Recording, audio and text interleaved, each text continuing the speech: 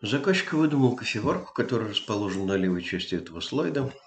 Она была нужна для того, чтобы одновременно можно было заварить и кофе, и чай по желанию потребителей. К сожалению, она у них очень сильно шумела и не могла одновременно налить кофе и чай. Делала это только по очереди. Для того, чтобы избежать этой неприятности, мы использовали решение примерно столетней давности и поставили два поршневых, две поршневых кофеварки, которые были изобретены в 1932 году. Вот и все изобретение. Естественно, шум поршни не дают. Самое главное в этом изобретении на самом деле использование ходового винта и использование старого решения, которое уже было опробовано. Оно не создавало шума. Упражнение 67.